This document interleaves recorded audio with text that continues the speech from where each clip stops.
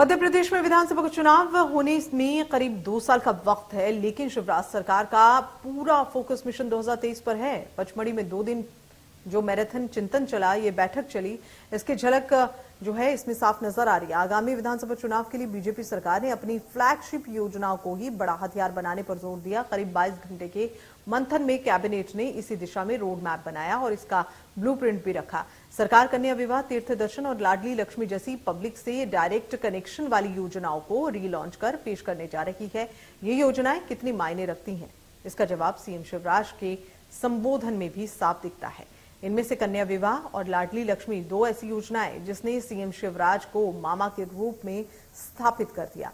21 अप्रैल से कन्या विवाह योजना नए स्वरूप में शुरू होगी, जिसमें पचपन हज़ार रुपए देने का निर्णय दिया गया है। दो मई को लाडली लक्ष्मी योजना लगभग दो दशमलव शून्य का शुभारंभ होगा और वहीं 18 अप्रैल को फिर से मुख्यमंत्री तीर्थ दर्शन योजना की शुरुआत होगी।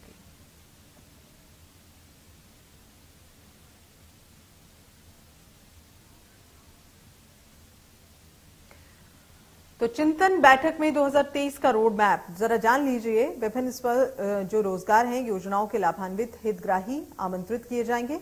और इसके अलावा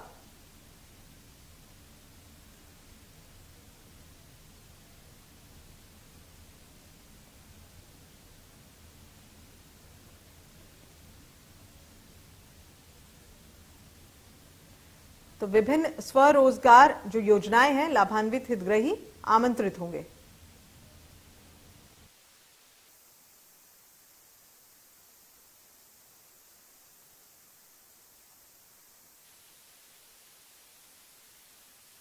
चिंता रोड मैप विभिन्न स्वरोजगार योजनाओं के लाभान्वित हितग्राही आमंत्रित होंगे।